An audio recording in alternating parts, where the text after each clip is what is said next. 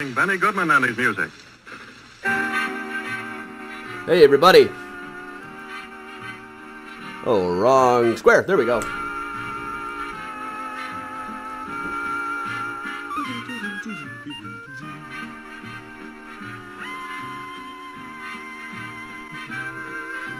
Ah, look who's come up already.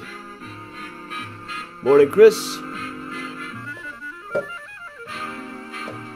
Miles, don't knock down my biscotti. Hey, Keely and Martin.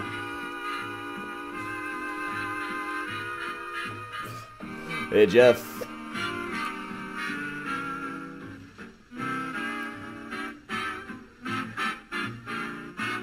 Oh, that sure did, didn't I? Hang on a second. Let me get online real fast and fix that up. The man with the torrid mustache and even more torrid band who performs rhythms all dance Ah, just been so much today. I too must do a lot of cooking.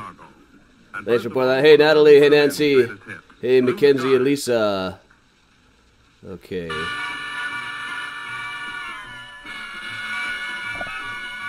Edit, edit, edit really fast. Yep. Next, back, next, next. Update. Okay. That should be fixed. Thanks for pointing that out, Chris. I do that a lot, you know. Hey, Beverly. Hey, Cindy. Hey, Marty. Hey, Becky. Hey, Ann, Colleen, and Rose.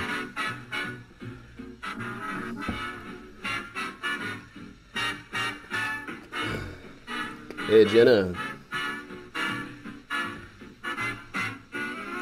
Hey, Ian. Hey, Bob. Hey, Dara, Octavio. All right, all right, all right. Uh, Mackenzie, no, we've, uh, yeah, we've, uh, the in-person tours are likely shut down for the season. Might toss one up in December just because the in-person, the, uh, the virtual ones aren't, uh, you know, there's, industry-wide virtual tours are not pulling in the numbers they used to. Hey, Alexandra. Colleen, I have no one knows what those symbols next to people's names in Facebook are. Hey, Ann, over on YouTube. Hey, Kathleen. Ian, it's uh, one that I haven't done in a really long time. It's been done before, but I hadn't done it again because the numbers were really low even back uh, last year. So I don't know why this one never quite caught on, but I like doing it. Hey, Ruth. Hey, Marjorie Tato over on YouTube. Hey, Sherry and Luann.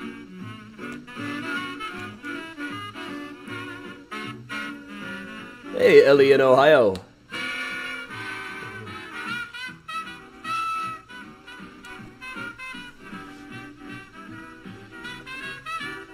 Hey, Lisa. No, Brady, this is the normal time. Uh, there might be a thing with uh, Facebook changing time zones for people depending on where you are. That gets kind of wonky sometimes. So this is the the same, the usual 10 a.m. morning mini tour. Well, this is the full length door, not a mini one. Oh, I don't know where my head is today. Hey, Zap. Hey, Susan. Hey, Joan. I'm, I'm all dressed like I'm smart here. I've got that look I have sometimes where I just go to the uh, cloth menswear shop and say, just make me look like an English professor in a sitcom. Make me look like I hang out at the Gaslight Cafe. Hey, Gail. Hey, Sue. Hey, Donna. Morning, Julie. Hey, Ava.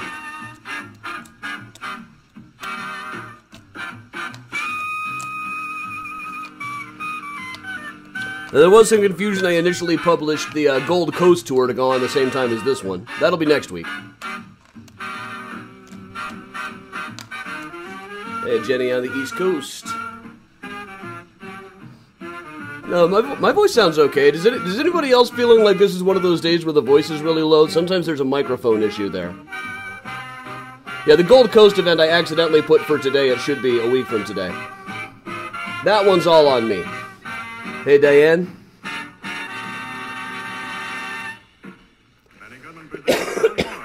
Yeah, I'm feeling fine, other than it's rather toasty in here. And my usual chronic sinus issues. But every now and then, remember the microphone does that thing where it makes me talk like this. Like I put, like I played a 45 record at 33 and a third or something.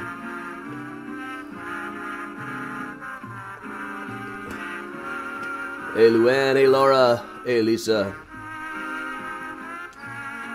hey Kathy, morning Teresa and Lisa.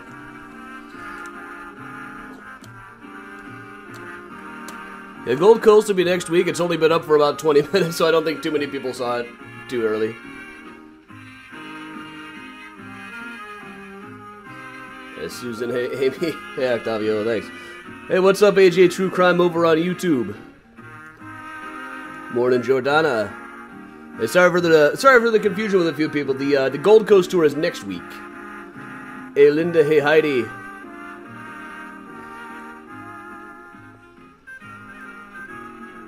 Hey, Irene and John.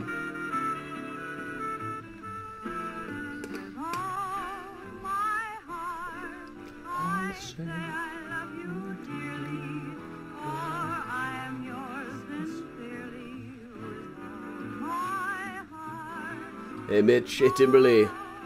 Joanna Neva.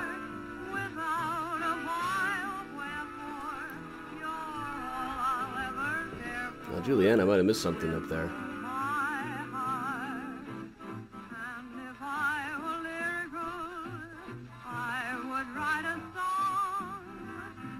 Ah, Juliana, sorry to hear that about the dog. Hey, count over on YouTube. John, yes, I have been carrying the Stay Spooky tumbler around. Thank you for that. Hey, Larry. Hey, Pamela. Hey, Daniel. Good to see you. Hey, Renee and Debbie. Hey, Timothy.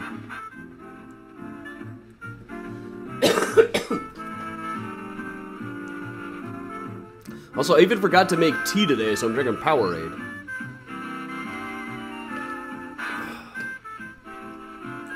Hey, Christine. Hey, Julianne.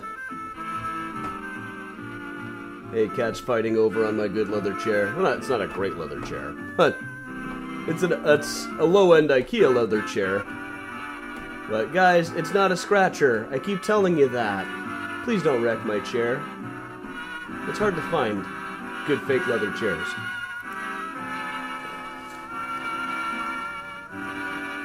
Happy birthday, Lisa. Benny Goodman goes way back and gets a lot of rhythm out of Walk, Jenny Walk. Benny Goodman and his orchestra. Yeah, I didn't go to the coffee shop today even. Yeah, it's it's been a while since we did a Sunday morning one. October was just so busy.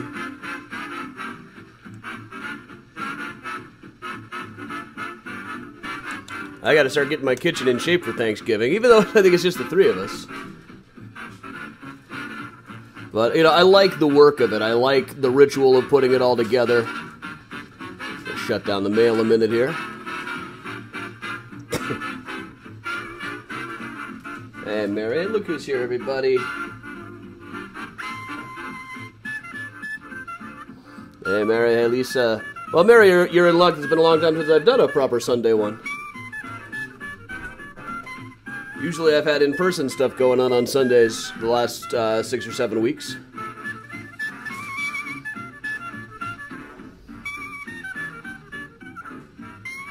Georgie, yeah, we have multiple scratching posts, but you know how cats are.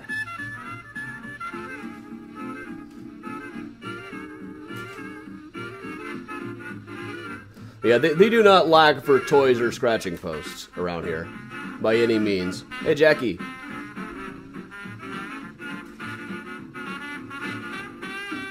Yeah, Dana, that's where I'm at. 23 pound turkey for the three of us, but Thanksgiving leftovers are my favorite food.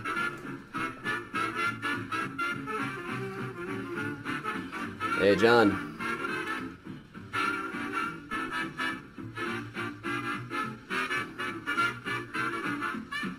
Juliana sure will. You might be able to see Priya in the background here, lounging around with the cat dancer.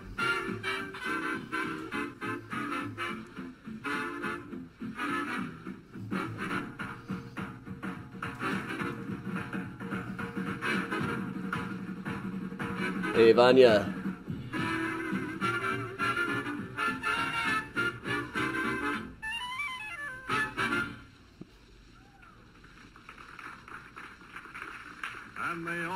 I'm sure Mariano's will have decent side dishes. You gotta count on them. Tamales at Thanksgiving? I don't believe I have. That sounds pretty good, though.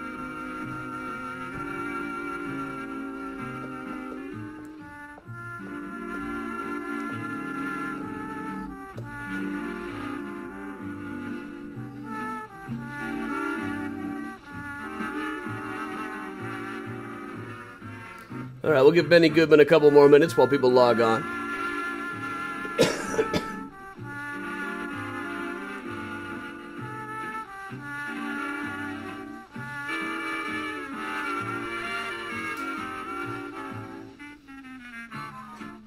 Hey, Susan. My fo- parents out there today? I haven't seen them yet.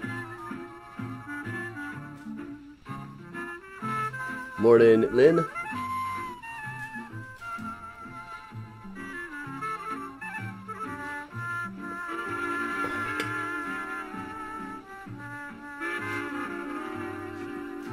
Thanks, Rhonda.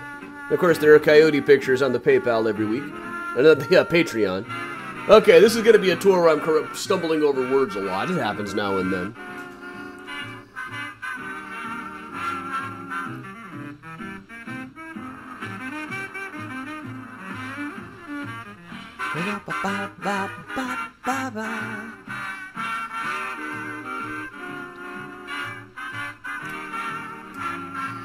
Yeah, we even have a little mini uh, additional basement freezer now in the storage space, which makes me feel real upper class, honestly.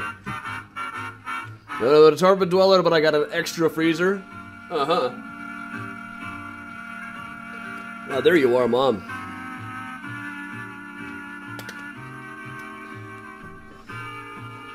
Hey, David. Hey, Maureen.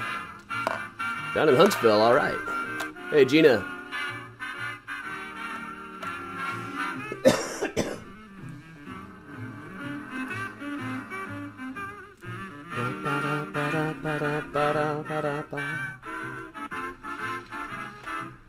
Feel like my grandparents? I don't know.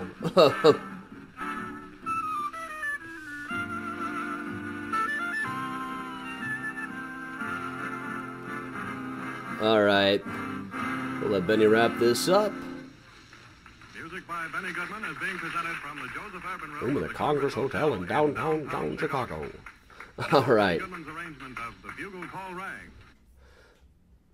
All right. So, welcome along, everybody. I am Adam Selzer from Mysterious Chicago Tours. Uh, apologies if you showed up for the Gold Coast tour that was announced about 15 minutes ago. That one is actually next week. Today we are doing Chicago's spookiest graves. One of my favorite presentations to do, and it's one of the ones that really takes advantage of the virtual tours. Because, you know, I do walking tours at cemeteries, but there are certain ones that are just too far away to really get a crowd, and I certainly can't do all of these in one tour because they're scattered all over the Chicagoland area. But practically every cemetery, every self respecting cemetery, has a couple of spooky graves in it, and this way I can show all of them off. So, welcome everybody. I'm Adam Selzer from Mysterious Chicago Tours. I've been a tour guide and historian here in Chicago for going on 20 years now. I've got about a dozen Chicago history books out. I'm on the History Channel and the Travel Channel all the time, so I am, in fact, incredibly famous. You should definitely pay attention to whatever I say. You know, spooky graves kept me out of cemeteries for years when I was a kid, and I always kind of pictured them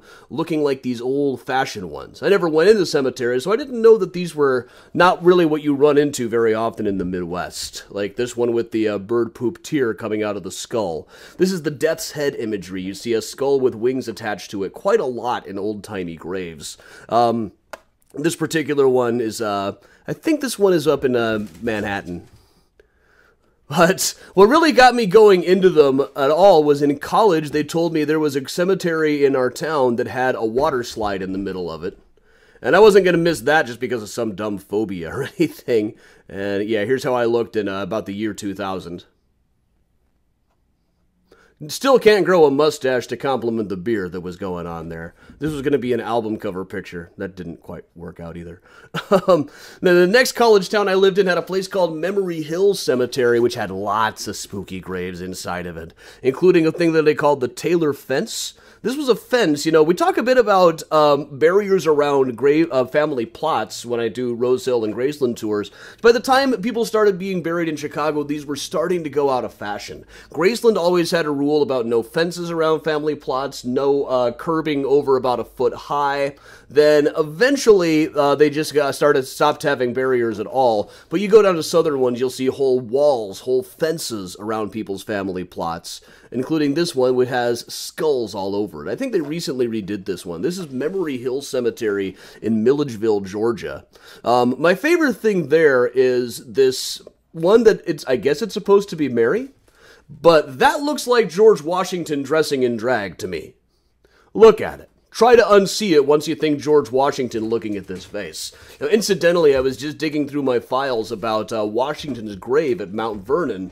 Now, his body was moved into the current tomb at one point, and when it was back in the uh, about the 1830s, they decided, you know, we should open the coffin and have a look, and then they let it be known that his body was in perfect condition. But then there's also an account of a guy who went to Mount Vernon a few years later and remarked upon that and felt a tap on the shoulder. It was uh, somebody who worked at the place saying, it wasn't like that when they opened it up. So, one of those interesting stories. There were also a lot of stories that his head had been stolen by phrenologists years and years ago. But elsewhere at Memory Hill was a place called the Fish Tomb occupied by one Mr. Fish and allegedly his uh, wife and children. The story went that when his wife and children died in a cholera epidemic, Mr. Fish locked himself inside of this mausoleum with a rocking chair, and sometime over the course of the night, shot himself. And they say that the rocking chair was still inside of the mausoleum. It was a common urban legend in Milledgeville for years. Um, Finally, they opened the thing. They, they opened the thing up to restore it when it was falling apart. Found no rocking chair. Likely the rocking chair, if it was there, was stolen by some fraternity years ago. But they did find a Fisk metallic burial case. These really ornate metal caskets with a viewing window over the face that were all the rage back in the 1850s. they were supposed to preserve your body forever. In this case, they could look into that glass window and see it did not exactly work as advertised.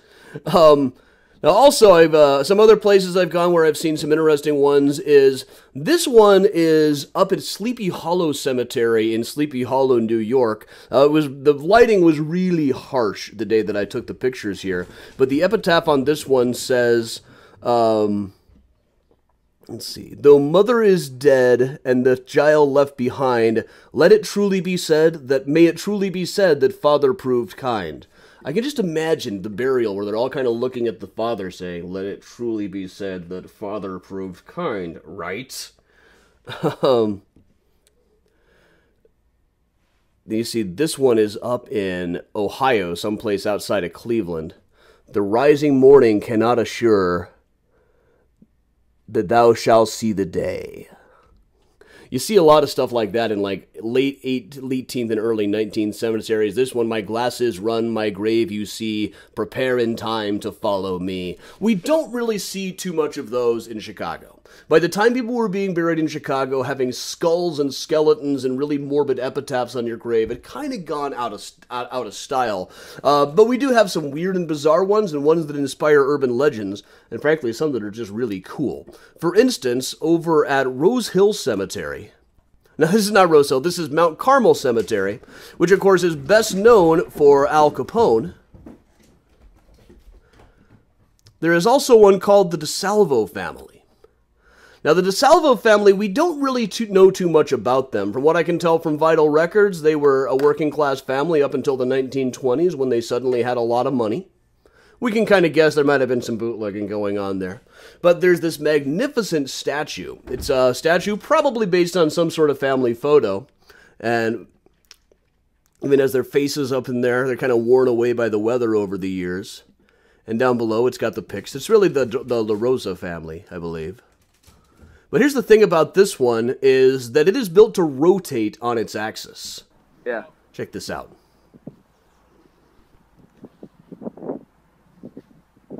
It looks very spooky until you see that my buddy Hector is pushing it back there. It takes a lot more effort just to, to move it than with just walking around it would. It's not the easiest thing to push, but you can do it. That probably happens from time to time.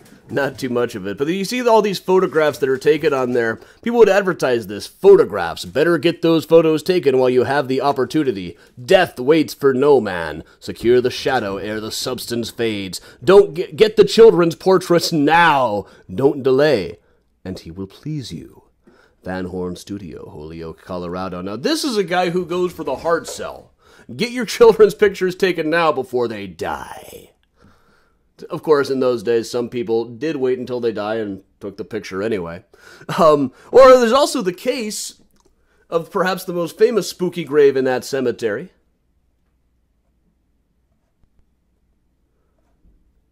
which is Giulia Buccola Petta, the Italian bride. You see this statue of Julia here, who died, depending on who you ask, either in childbirth or on her wedding night. We have records, so we know which one it is. And then down below, we have this picture of her. Well, there are two pictures. There's the one of her as a bride, and then right down below that, there's a picture of her in her coffin. The uh, epitaph around it says this picture was taken six years after her death in Italian. Now, the legend goes that Giulia Buccola Petta died a virgin on her wedding night um, and was now considered for sainthood. Her mother started having nightmares that she was demanding to be dug up, and after years of going back and forth with the parish, they finally allowed it and found that her body was still in perfect condition. There's a few things wrong with the story. um, we she she definitely did not die a virgin on her wedding night. We know from her death certificate that she died almost exactly nine months after what we can probably safely assume was a pretty eventful wedding night. Uh, died in childbirth. The baby died as well. Um, her married name Petta does not appear anywhere on here. According to the family, um, her mother Philomena felt a lot of guilt. She had been sick during her pregnancy, but for whatever old old world reason, she refused to let her go to see a doctor. Didn't approve of her new husband. Didn't approve of any of her children's matches. And you know Philomena, her mother, we actually have a picture of her now. Was going through a rough time, I imagine. She was uh, at this time she had come over to the United States in 1913, and now her sons Joseph. Uh, Giuseppe and Enrique were her sons Joseph and Henry. Her grandchildren weren't even learning her language. Um, it would have been very difficult for her. So when they got to something like this, not only was she racked by guilt, but she was like, ah, now you're on my territory. So it apparently it wasn't as difficult as it is sometimes said. She just uh, used her son's money. Her sons Joseph and Enrique, uh, Joseph and Henry, had done very well for themselves designing women's clothing. So they were able to uh, secure the body to be disinterred almost as soon as Philomena asked. And I would not say that she's in perfect condition. She looks like an embalmed body. Uh, we know that she was embalmed over at the Ragos Brothers Funeral Home on Western Avenue, which still stands, uh, by the way. But I don't think the entire body is in quite that good a shape. But we'll show again. This is. Uh, but after that, her mother kind of strong armed her brothers into commissioning this uh, gorgeous new monument that cost something in the neighborhood of $10,000 in 1920s money. They were not happy about this. It was something that you didn't really speak of in the in the household for years and years. I was able to contact the relatives. They were uh, they were they were remarkably willing to talk to me. But her uh, her husband by this marriage uh, later had another baby with the same name as the baby who died when she died in childbirth, and he went on to become a basketball coach. I tried to reach out to him once, but he didn't have an email address. He was just off in an old folks' home someplace. Uh, and you know, sometimes people like that, it may be that he didn't even know that his uh, father had a previous wife. But this was their house over on Erie Street. And since we're over on the west side now, um, this is out, Mount Carmel is out in Hillside. Also on the west side is a graveyard that was uh, used for one of the most famous train wrecks in Chicago area history. There was the um, a train carrying members of the Hagenbeck Wallace Circus back in 1918 was rolling on the tracks between Gary and Hammond when a train coming up behind it from, on the Michigan Central Railroad crashed. This one lists 46 dead. There were actually about 89 or 90 killed. So what happened was the guy in the train behind them had fallen asleep. He had been on the job for 24 hours straight. He had taken some medication that was uh, knocking him out even further, and didn't see a brakeman so showing a signal showing that the train ahead of him had stopped. So he wound up crashing into the circus train, which was made primarily out of wooden cars and was using oil-based lamps as lighting.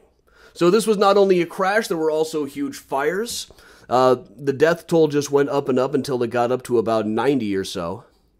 Takes 69 bodies from wreck. And this is what that wreck looked like. Now, of the hell of it is is that some of these people were the regular circus performers and could at least be identified as being missing. But a lot of them were just what they called circus roustabouts, people who would uh, get on in one city, work for a while, sweeping up, travel around for a while until they felt like stopping. It was kind of a hobo lifestyle at the time. But we didn't know, so some of the people could never really be identified. Uh, we do know some of them. These were the Flying Wards, including Jenny Ward Todd, who was an aerialist. These were the uh, great Dierckx brother, Derrick's brothers.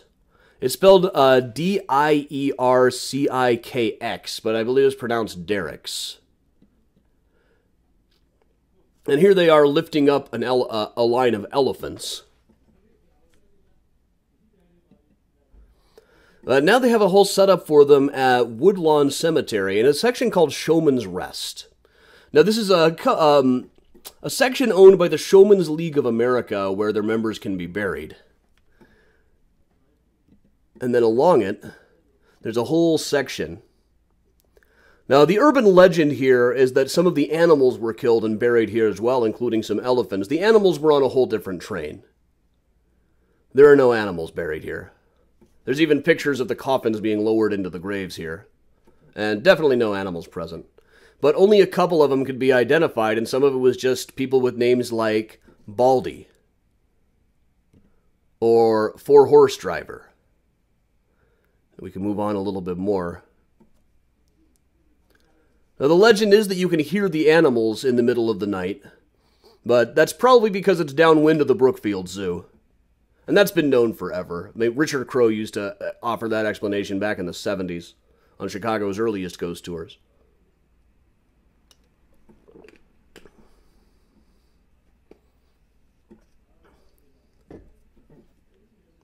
And there's even this picture. I don't like to linger on coffin pictures too much.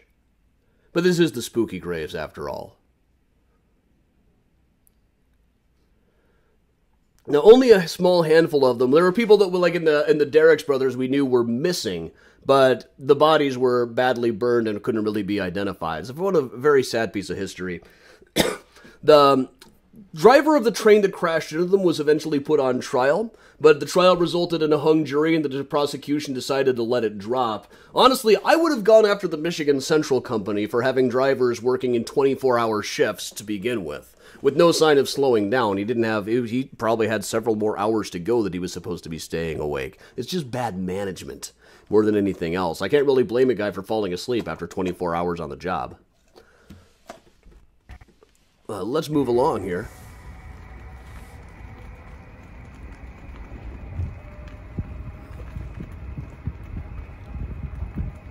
Oh dear, I've got a whole lot. There's a whole. I realize this particular part of the deck has a whole stack that I had declined to fix up. but down on the south side stands the St. James of the Sag, down in the Lemont area near Justice, off Archer Avenue. And of course, Archer Avenue is known for lots and lots of different things. Oh, it looks like my I've frozen in place up there. I can fix that, I think. That's not how to do it. That's how you don't do it, my sister would have said. All right, but St. James of the Sag is uh, goes back to the 1830s. It is thought to be the oldest still in operation cemetery in the Chicagoland area, outside of like little family plots and uh, things from before Chicago was really, uh, really started to grow in population at all. But Archer Avenue has a long history. It is uh, like a lot of the diagonal streets in Chicago. It started out as an old Indian trail, which sounds like it would be an urban legend, but in fact, it actually is true. 1873, there was a horrible train wreck nearby with 43 people killed. Uh, this was another one. The, the conductor ran away after this and had to be chased down. Um, a lot of the bodies were just kind of laid out around the Lemont area, and several of them probably ended up being buried in St. James of the Sag Cemetery. But it's difficult to know for sure. Records at this place are not very good. When they tried in the 1980s to identify all the people buried here, you know, they were able to transcribe the stones, but they estimated that they knew about a third of the people who were buried here partly because in the 1890s, it was generally known that this was a cemetery where you could go and bury anybody you wanted to for free. This was not really formally the policy of the cemetery, but it happened all the time, and the cemetery just kind of went along with it. They really just said, well, please don't bury any suicides because this is a Catholic burial ground and suicides can't be buried here. Uh, but other than that, it was uh, a real problem. The priest would have partiers, uh, people who thought a funeral and a party were the same thing, showing up in the middle of the night. A lot of times, if somebody got killed in a drunken brawl or drank himself to death overnight, they would just haul the body over to St. James of the Sag. So naturally, there are a lot of unknown and unrecorded burials in this place. there's an awful lot of stories about the place being haunted by monk ghosts as well. There's one particular story that in the 70s, a police officer pulled up and saw four ghostly monk like figures gliding their way up the hill, seeming as though they were walking without touching the ground. I know people who swear they've seen the police report about this. I have not seen it myself. But stories about things like this go uh, way back. Like, this is a story from 1897. A couple of musicians were staying out back, and you can actually see in the background there. You see that uh, chapel in the background of the picture. You can see the spire there. These two musicians were staying in a place that had a view of this, and said in the middle of the night they saw this ghostly horse and horses and carriage come rolling up into the cemetery, and a woman standing in front up like this to block them. They said they were ready to swear on a stack of Bibles that this was true. It was over near the Sag Bridge, where there had, of course, been numerous disasters over the years. Around the same time, there was a story in 1897 that they had dug up the skeletons of nine people here. One of them was the skeleton of a man over seven feet high. This is almost a constant. Every time they find a batch of skeletons in those days, the newspapers say something about the fact that one of them was actually uh, seven feet tall happens all the time. It's part of why people were so easily fooled by the Cardiff Giant, I think. And a week before that, there had just been this advertisement, this uh, whole article about where anybody can bury a body for free. Now, the fact that this came a week before those musicians said that they saw that ghost is probably significant. It's you can kind of imagine they got the idea to tell the story out of seeing something like this. But let's go up the hill here in St. James of the Sag a bit to one grave that was mentioned in a lot of stories back then.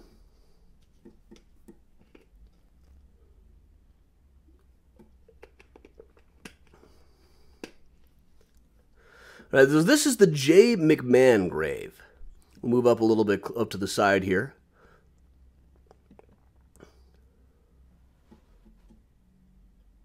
My beloved husband. It was a grave for a guy initially of a guy by the name of James John McMahon. But you notice there's also a couple of others here. Uh, Mary Frances Halligan, born 1853, lived until 1940, uh, daughter of Daniel and Elizabeth, um, who are buried in the cemetery, wife of John L. McMahon, Patrick Joyce, and Charles M. Cole. Now, the story went back in the day.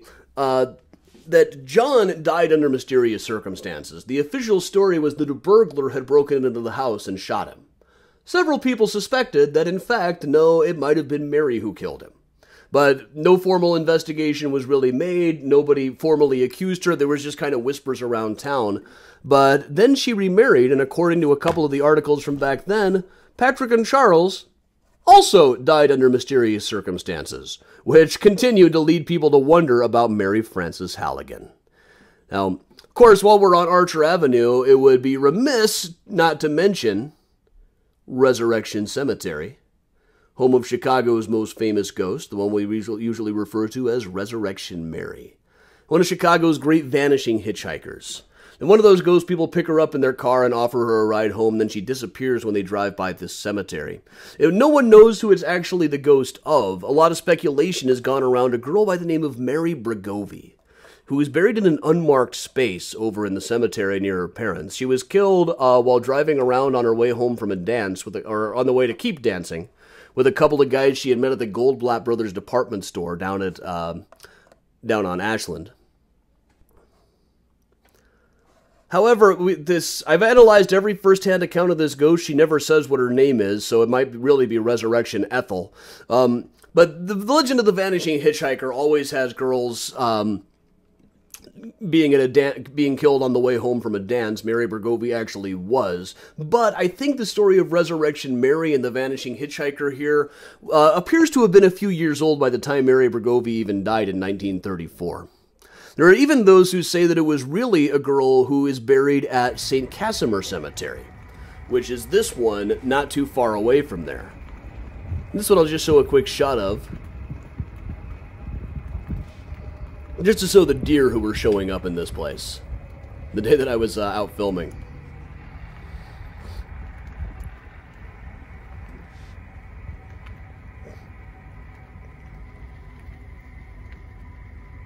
Deer in cemeteries are remarkably docile creatures.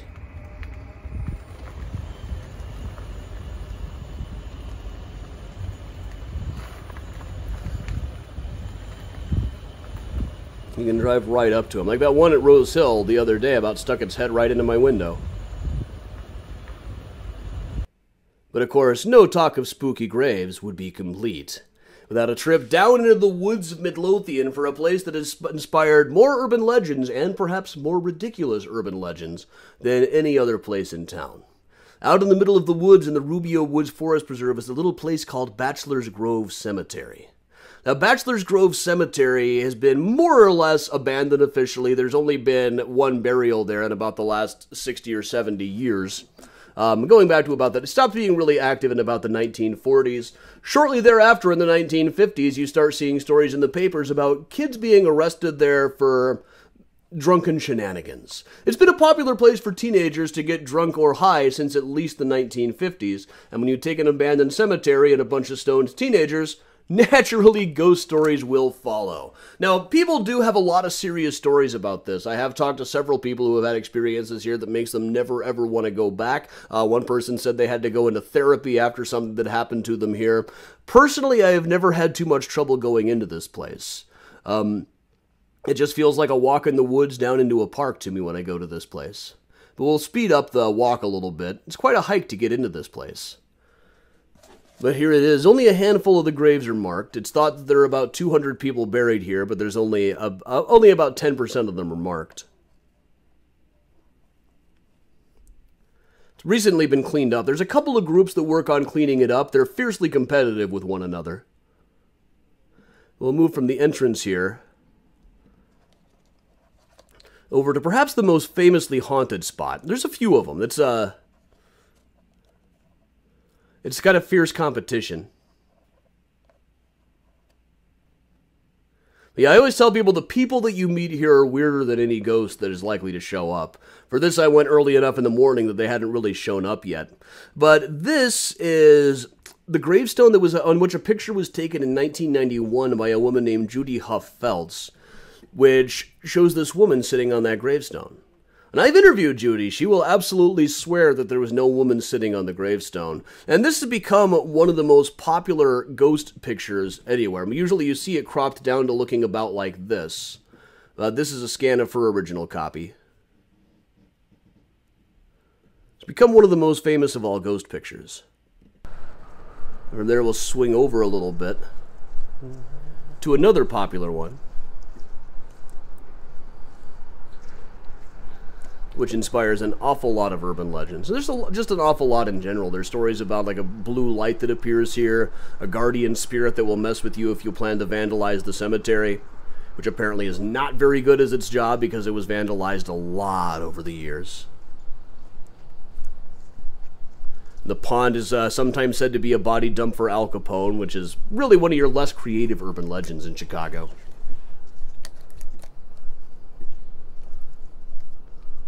There's a lot of stuff about this grave that says infant daughter. People like to leave things here. There's a. I remember hearing a story that if you dropped a coin on top of it, it would never actually land on the stone. It would move around of its own own accord. Like I'm, my strategically placed thing here. I have a problem of going to these places on days when the light is particularly harsh. So I moved to this one off in the distance from it. Here's one from when uh, I was out here with a group back almost 15 years ago now. The back of it looks like this. It is actually the Fulton family grave, including a woman named Luella Fulton, Luella Fulton Rogers, who is on the back right in this. Here's a. She was killed by a hit and run driver in 1944 and is sometimes said to be the, the ghost that you can see in the famous picture. I'll put, I'll put the, the picture of her up again here. There's another picture where her hair is longer and would match a little bit better. But notably, if that's if this was the ghost of Mrs. Rogers, and there were stories years and years back that the ghost name was somebody named Mrs. Rogers before people could look these things up on the internet. Um, there were stories that that was the ghost. That's definitely not Mrs. Rogers' actual grave, though. All right, let's keep moving on.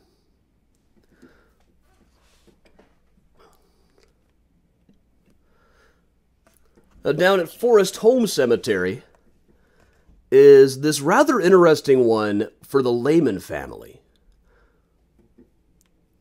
Uh, the Lehmans were managers of a fair a store called The Fair, which we'll be talking about on Thursday night on Historical Shopping in Chicago. It's a magnificently large mausoleum with these lions who just give you this death glare. The closer you get, the spookier they are with their little spiral eyes just glaring at you. The eyes seem to follow you if you move your head around. I'll pause it there so you can try that for yourself.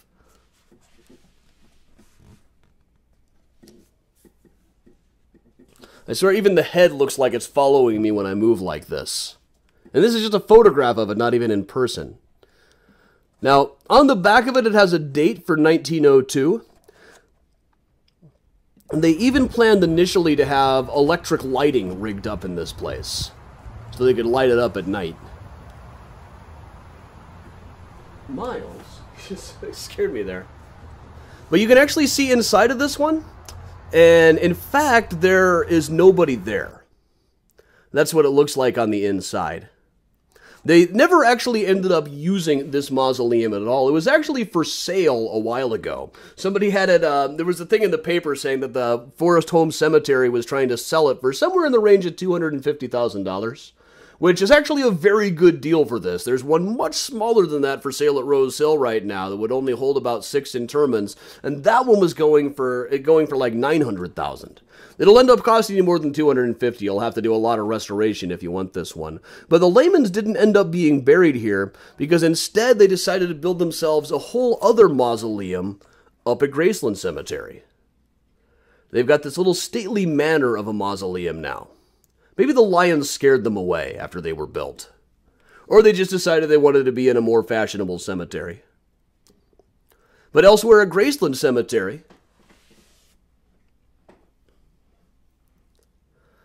is the grave of a guy by the name of Ludwig Wolff, which is sometimes compared to a toilet. Which makes sense because he actually was a toilet manufacturer. Here's one of his standard water closets. And I've actually um, edited this photo a little bit. It actually goes a lot higher than this. I had to trim it down a little bit, do some photoshopping just to make it fit on the screen. Um, they, you wouldn't have really hit your head standing up from this thing. But interred there with him, it was actually built for the remains of his daughter Harriet. Now, Harriet was killed in the Iroquois Theater fire on December 30th of 1903, a theater fire that killed about 600 people due to a huge combination of uh, skipping over corners to make the theater uh, get the theater open on time. Now, it's not generally said that she's haunting the place. She's actually in, uh, occasionally suggested to be one of the people that is haunting the site where the Iroquois Theater stood down on Randolph Street. But the story goes that similar to the fish tomb back in Milledgeville, if you knock on the door, you'll hear something. Back in Milledgeville, they say if you knock on the door of the fish tomb, you'll hear the sound of the guy blowing his brains out in his rocking chair. Here, they say that you can hear the sound of somebody howling. Often it is said to be a green eyed ghoul who, who guards this cemetery or who guards the guards this plot.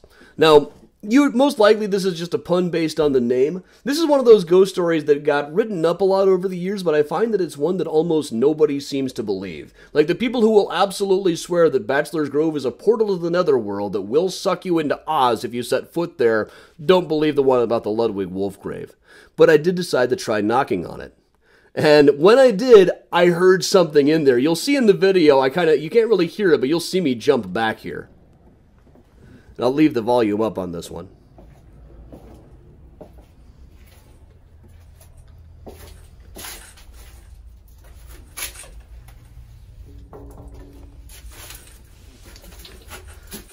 You can see me jump backwards there.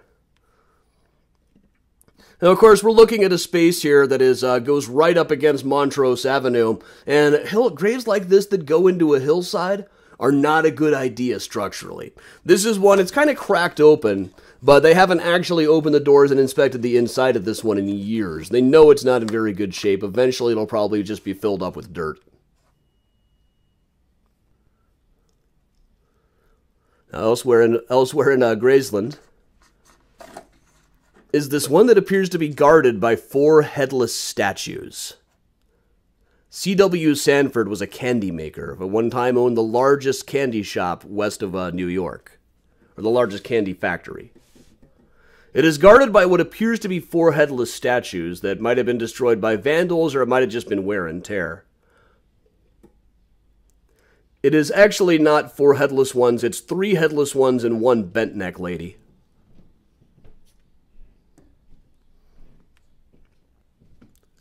Up over here. Another one off in Graceland is a guy by the name of uh, Frederick Seymour Winston. He was a corporate lawyer. So it's a dull job, but it's a really interesting gravestone. It's marked by four sundials representing the four seasons, including this one with a raven on a skull. Such a cool looking one.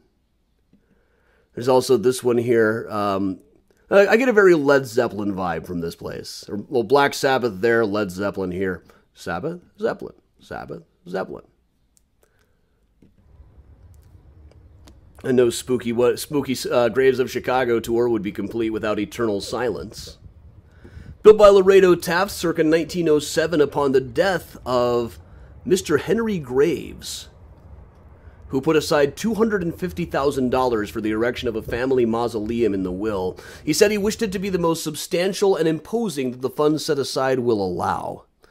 I love his probate file. They they didn't have the right uh, form that day, so they just crossed out insane and wrote deceased. But for some reason, they didn't build the large mausoleum that he put aside the money for, but they hired Lorado Taft to make this sculpture. And it attracted quite a bit of notice even in its day. This is a picture of it from an art exhibition catalog The Eternal Silence by Lorado Taft.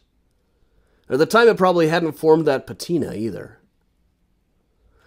There's even uh, a, a, poet from Hull House, and this kind of uh, backs up my premise that it might have been a relative of his, Louise de Koven-Bowen of Hull House, who commissioned this.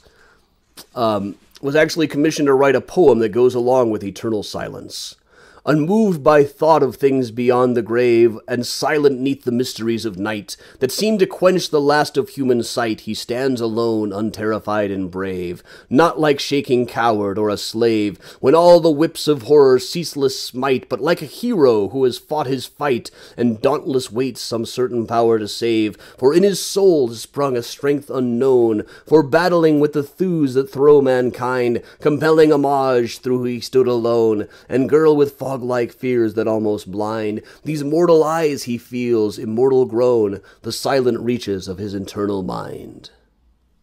By Horace Spencer Flake. There are a handful of urban legends about this statue. One says that you cannot possibly take a clear and focused picture of it. That's been disproven since way back in 1907, but it was probably a good trick back before digital cameras. The other says that if you look directly in its face, you will see your own death. I have looked in its face myself, have not seen my own death, which I guess means I am living forever. His fame as a spooky statue at Graceland Cemetery is rivaled only at Graceland by Inez. Now, the reference in the last poem to the girl in fog made me think of this. Now and then, this um, this glass case around the Nez will fog up, which probably led to some of the stories that the place the statue disappears on stormy days. They say that the statue disappears and Inez haunts the cemetery. The old story was that she died being in a lightning storm after her parents locked her out. Though now we at least know that that much is not true. We don't know too much about Inez Briggs. We've been able to put together a lot about her family situation. It looks to look like her name is Inez Clark over on the gravestone. Clark was her mother's later married name, and honestly, I think she almost certainly would have had her own last name changed to Clark at some point. It's just that being the era. Um, and here's a nice shot of it. Now, Inez's mother, Mary, was 16 when she married a guy by the name of Wilbur Briggs. Wilbur was a big drunk. When Inez was about a year old, um, Mary told him to either stop drinking or leave, so he left. Here she is in the dark. One of the very rare times I'm able to get a twilight photograph of this one. There she is with a coyote. She died of diphtheria at the age of seven. Her mother had just gotten remarried to Mr. Clark. And then, as I say, it does fog up, and when it does, the chair she's sitting in starts to look like a skull to me. Now, one thing we couldn't quite clear all of the issues for to get in the book, but there is a picture from the early 19th, from we think the early 1930s in the uh, Graceland files that shows it as without the glass case and with a flower bed next to it. Also, a better version than is currently visible of Delbert, her brother, who is buried right beside her. There's this uh, flower bed in front with a couple of doves, and there is an inscription on the end that's not quite clear enough to read. And boy, have I tried everything to manage to read it. It's like computer, enhance, enhance, enhance, enhance. That works so much better on television than it does in real life. And as you can see, people like to leave little tokens and trinkets for her. There were a lot of Legos there this past year. Um, here's the great job sign. Not that we really know enough about what Inez was like, or what she was good at, or what she did, or what she thought of school, or what her what her favorite games were, or anything. But I'm sure she did a great job on something. Why they left her a severed hand, I can only speculate. speaking of Black Sabbath, we'll move over to Rose Hill here. Now, over by the mausoleum at Rose Hill is something sometimes known as the Devil Grave. James Minikakis died 6606. And the inscription on the top reads, From darkness he came, in darkness he lived. To darkness he returned, and from darkness he will be reborn to a better time. The red is a recent addition. It used to be all black and white. Now, first heard of this and thought this must be the most metal guy of all time. Now, as I understand it, he's not really all that into metal. He's actually just more into vampires. And he most certainly did not die on 6606. In fact, he's still alive. As I understand it, he lives about two blocks from where I'm standing right now. He's declined to be interviewed over time, but he apparently did some work at Rose Hill Cemetery and realized he didn't have any family who would be taking care of his remains after his death, so he thought he would build something ahead of time for himself that I guess reflects his likes, dislikes, and personality. I love when people do that. I love when people have monuments that tell us something about them. I mean, so often the epitaph is what I call high school yearbook ones, like loyal, true, um, you know, stuff that you write in the yearbook of somebody you didn't actually know. But this one actually shows us some of his personality, and I love that. Now, elsewhere in Rose Hill is another one that is occasionally said to disappear, probably because it fogs up when it gets uh, when it gets rainy. But this is Frances Pierce Stone, one that was moved from the old city cemetery where Lincoln Park is now. And Frances was uh, buried here along, buried, uh, well, moved here along with her daughter, who died a few months after she did. She died of tuberculosis in 1856. Would have been not even 20 years old, I don't think. But her husband was a guy named H.O. Stone, shown here in a picture from his mortgage company spread around the, when it was still around in the 20s. But one day in the 18, uh, 1850s, he was about early 40s, went back to his hometown in upstate New York and met 16 year old Frances, married her, and brought her back to Chicago. That age gap wouldn't have freaked people out as much as it should have back then, frankly. After her death, he traveled in Europe, commissioned this statue, and this may be the second one that existed. Uh, according to a couple of old newspaper items, the first one that was built sunk when the ship went down that was carrying it across the Atlantic. So there may be another version of this down under the ocean someplace. It's probably not in good shape at this point. You know, marble, I don't know. Depends on where it went down and what the conditions are like there. But after after this was installed at the Old City Cemetery, H.O. Stone went back to his hometown of upstate New York and found another teenager to marry. And she ended up living outliving him considerably for obvious reasons, being so much younger. She was remembered by kids in the neighborhood as the most stern, prim, proper, and joyless old woman in the world. Though she did once host a party where Oscar Wilde met Marshall Field, which must have been Really awkward. Two complete polar opposite human beings. But this is these ones. Those last two were in Rose Hill. This one, another way too bright day, is one called the Pilgrim, the grave of Albin Polasek. This is down at Bohemian National Cemetery. We'll see how much of a view I could get of this. Here's a look at the face. It's another one where there are rumor, or there are legends that you should never look directly at the face. If it scares you, just imagine that this uh, this particular pilgrim is the wife of Bath from the Canterbury Tales. I thought I'm a bit over time, but I will show off a, a slideshow of some of the coyote pictures. I love taking pictures of wildlife in cemeteries, and if you're on the Patreon on all tiers on every Wednesday, there's uh, one of these photos is posted. Uh, here's a coyote at the grave of Marshall Field, like looking up, saying, "What's that guy doing? Is that food that he's holding?" Hmm.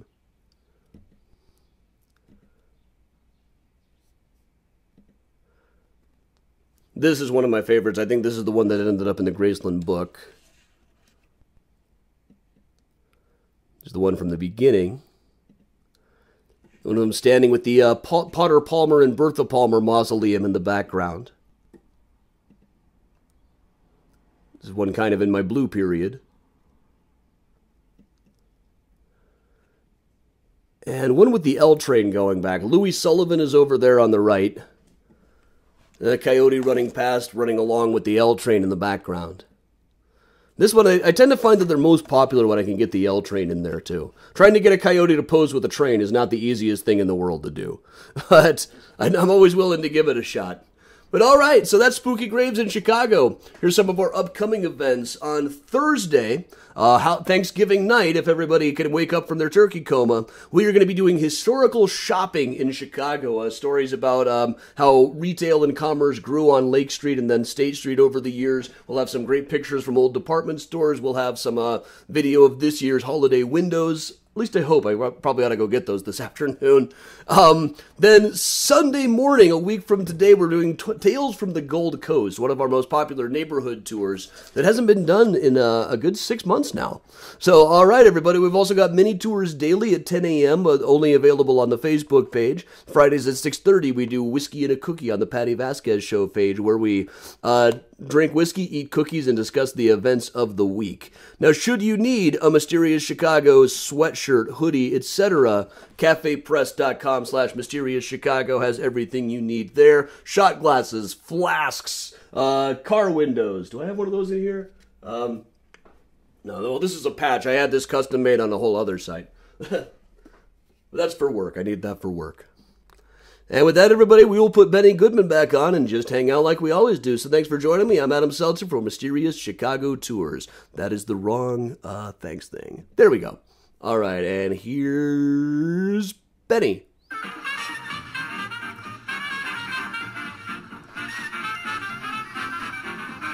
Laura, not at all. Absolutely excuse yourself.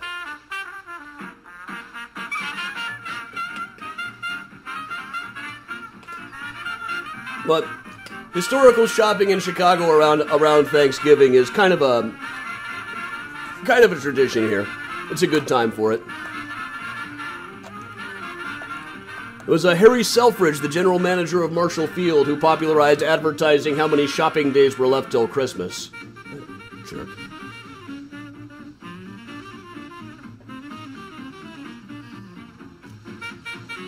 Uh, thanks, Joan. Thanks, Sue.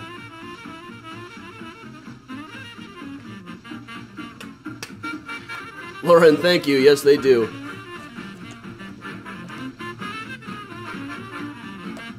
And thank you, Steve and Rob. Yeah, Octavio, I haven't put up new stuff on Cafe Press yet. I'm we're kind of, kind of thinking of a new design idea. Maybe that's what I'll do this week. Now that I've turned the Graceland book copy edits in, I don't know what to do with myself next week. I don't have a book project going right now. That's very unusual for me, especially with Graceland turned in. It's uh, that one's been about three years worth of work. Prior to that, I had a couple of months with no book project, and that would have been the first time since like 2005. Dina, yes, I am going to be doing another uh, Only Minis in the Building podcast this week. Marjorie, most of them I don't have in good enough quality to put out on DVD, but if you go to the videos section on Facebook, they're pretty much all there. A Pullman shirt I could definitely see.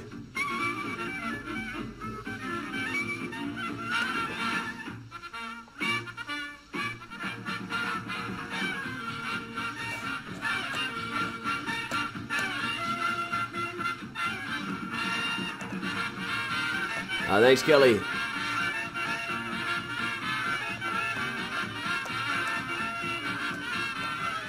Uh, thanks, Christine. Laura, yeah, the holiday architecture tour is uh, it's on the list. It's a, it's it's a plan for a walking tour. Maybe we'll do that when it's a hybrid or something. A cemetery coyote merch, I'm not sure about. There's some there's uh, I don't like to spread them too much outside of the Patreon. When I tried when I first tried posting them on Facebook, they ended up generating more publicity than the coyotes once. You start seeing comments like, "I'm gonna go out there with my AR-15," from you know that whole crowd, and then the people who want to go give them treats, which is also not good. But at least makes you seem like you're an okay person, not a complete maniac.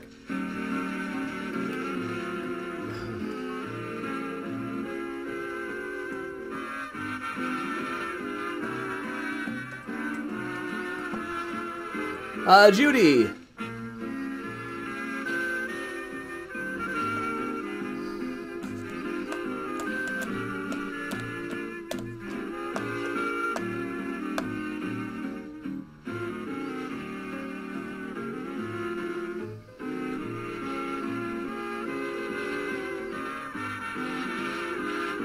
Yeah, right now the only place to get the uh, cemetery coyote stuff is at the Patreon. But I bet I could come up with uh, come up with a version of one of them. I think I could probably do that.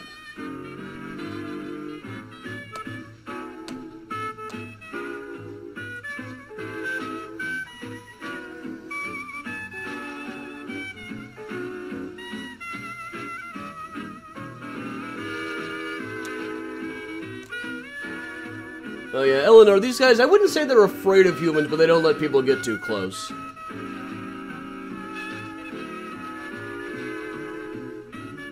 Where are Miles and Priya right now?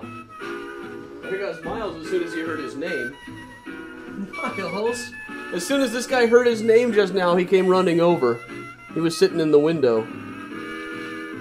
The Sirius Chicago calendar. I bet I could put one of those together. Maybe I do a coyote calendar or something.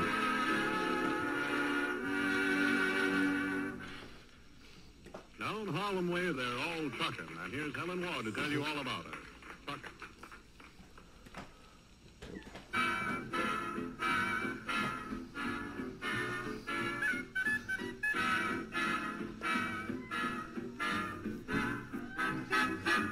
The thing about Stay Spooky is I, I, I, I keep hearing there are other podcast hosts who use that same phrase.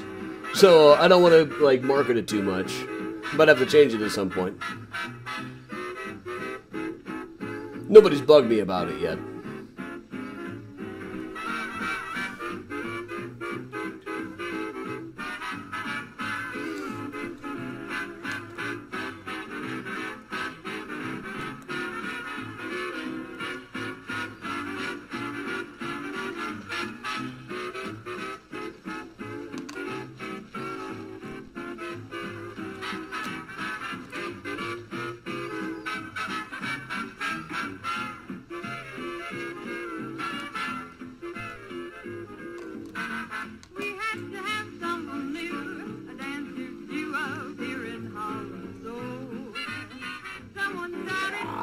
Before the high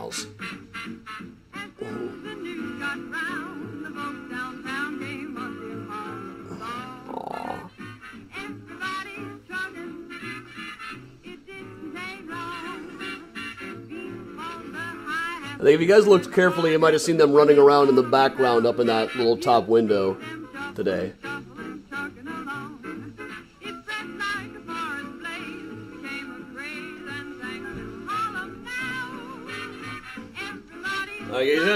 See some stuff. I'll make this smaller. Got to keep it up, but here we go. They go nuts when I bring this out. They wait for me to bring this out.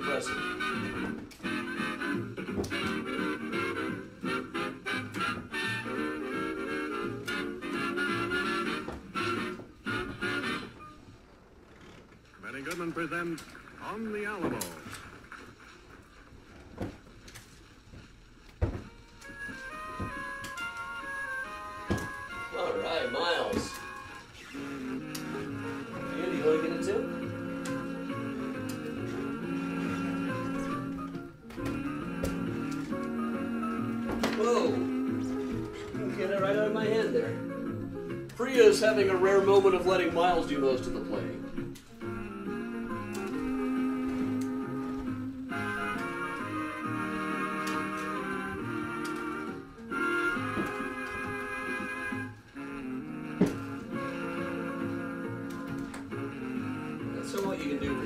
Here we go.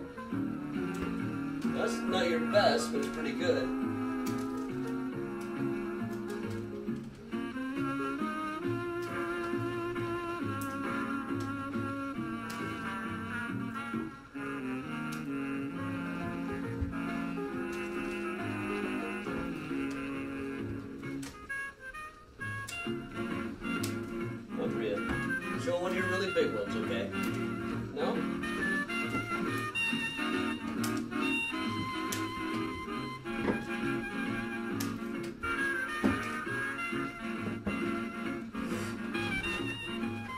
catch, Miles. They go nuts for this thing.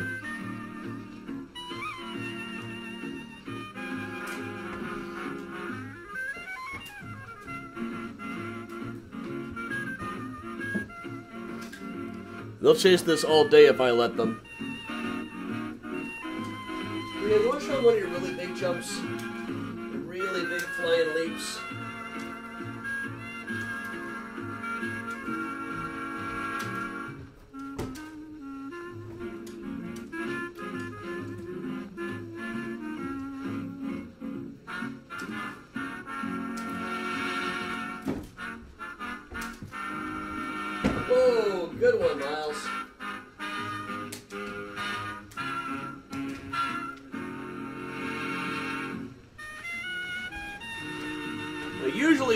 once Miles starts playing, Priya jumps right in and wants all the fun.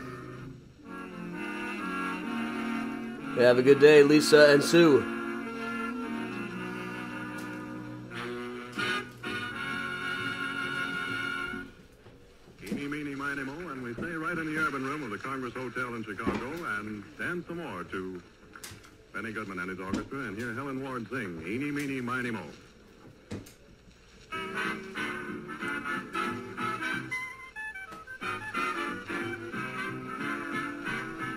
Patty, I do not. I do not have a wall calendar. Have it in some time.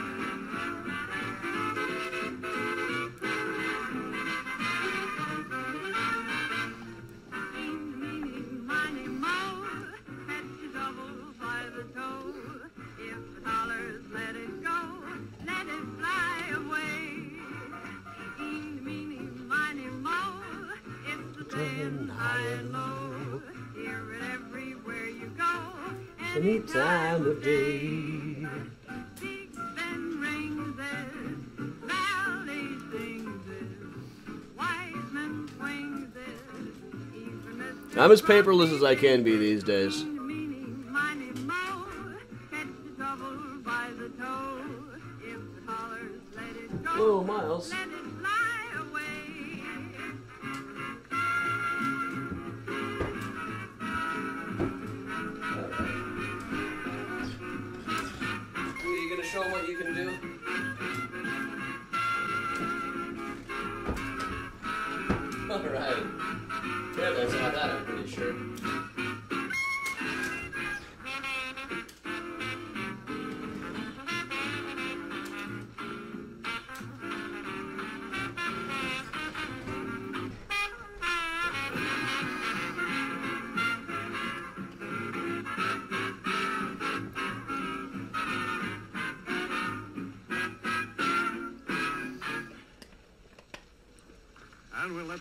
Speak for itself. Benny Goodman presenting Madhouse. Uh, Judy the kitten is Priya. Well, she's about six months, six or seven months old now.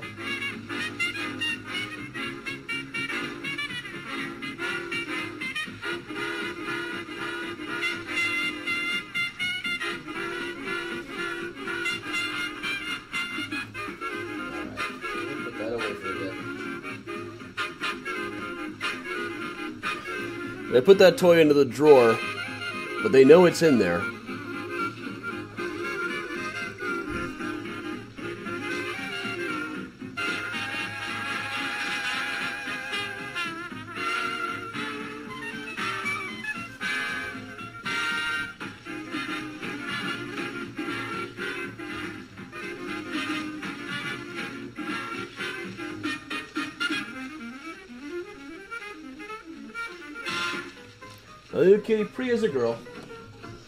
She's a little firecracker of a girl.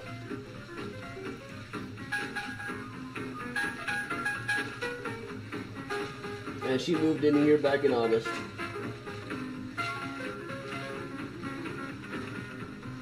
And she and Miles get along very well. They play constantly.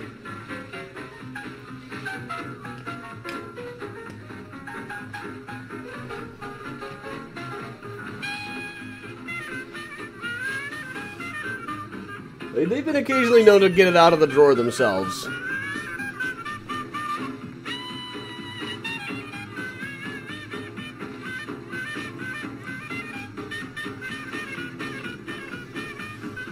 Alright, here we go.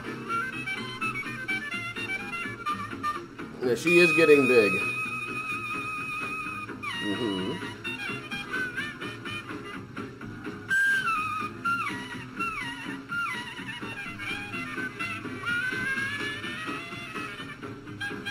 Miles is still a bit jealous of her. But they they'll sit together all the time. They curl up on the same bed. And they play a lot.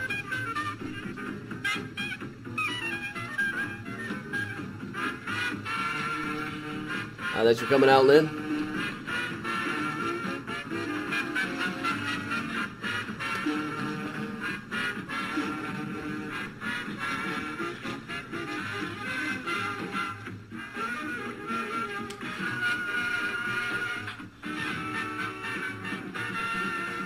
Marsha, yeah, they meow. Miles let out a big yowler right when I was looking at the uh, Ludwig Wolff one.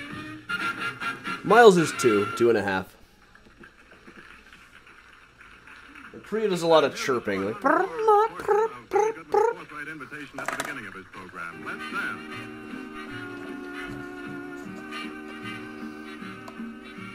uh, Carol, no, I started on time today.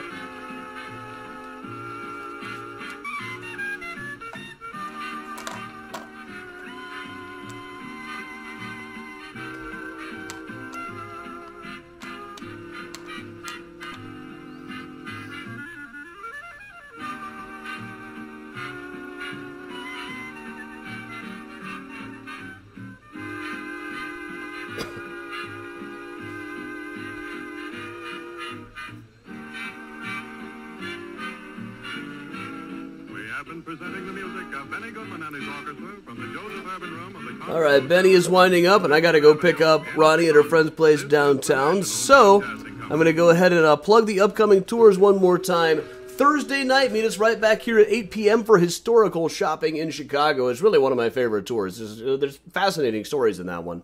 And Sunday, for the first time in uh, over six months, Tales of the Gold Coast. Another really cool tour that I really enjoy doing. Such great architecture there, such great stories. And of course, we're, we got mini tours every day at 10 a.m. here on the Facebook page. Tomorrow will be Mural Monday, and we'll have stuff all week long at facebook.com slash mysterious Chicago. Don't forget to check out the Patreon down below. So thanks a lot for joining me, everybody. I'm Adam Selzer for Mysterious Chicago Tours, saying stay safe, stay strong. And though you may have heard it before, everybody stay spooky.